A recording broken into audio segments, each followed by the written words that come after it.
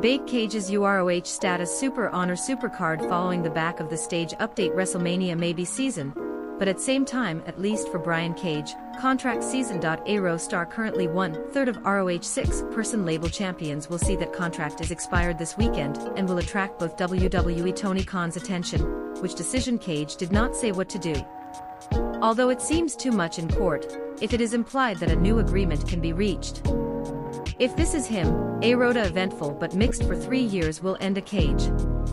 Casino Staircase match in Double or Nothing 2021, together with Ricky Starks.